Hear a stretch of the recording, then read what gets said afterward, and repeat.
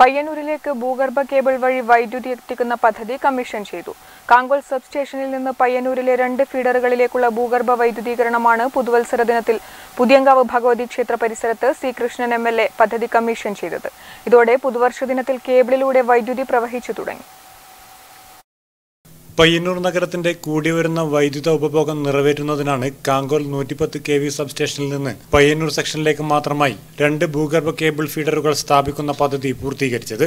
കൗവായി പയ്യന്നൂർ എന്നിവിടങ്ങളിലേക്കുള്ള വൈദ്യുതി വിതരണം വെള്ളിയാഴ്ച മുതൽ ഭൂഗർഭ കേബിളിലൂടെയാണ് നടക്കുക.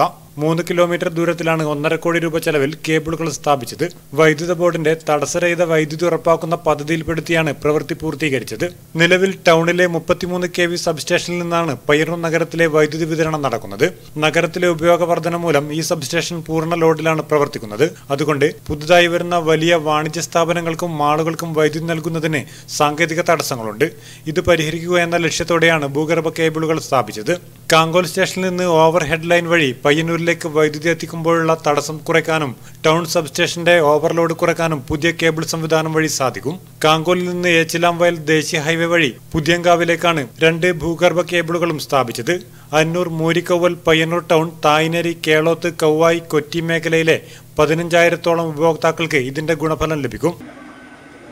നമുക്കറിയാവുന്നതുപോലെ മഹാദുരന്ത കാലത്ത് മഹാപ്രളയം അതുപോലെ തന്നെ ഇപ്പോഴത്തെ ഈ മഹാമാരി തുടങ്ങിയിട്ടുള്ള ഈ ദുരന്ത കാലത്തും വൈദ്യുതി വകുപ്പും വൈദ്യുതി ബോർഡും വിശ്രമരഹിതമായിട്ടുള്ള പ്രവർത്തനങ്ങളാണ് നടത്തിയിട്ടുള്ളത്.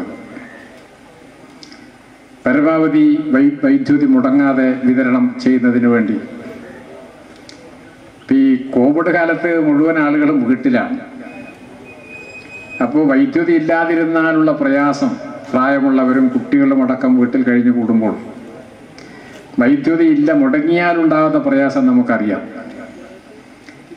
ഞാൻ ശ്രമിക്കുന്നുണ്ട് അവർ ഓഫീസിലിരുന്നാൽ ഈ കോവിഡ് പത്തൊമ്പത് ചിലപ്പോൾ ബാധിക്കും എന്നതുകൊണ്ട് ചടങ്ങിൽ executive engineer Asha T P അധ്യക്ഷത വഹിച്ചു.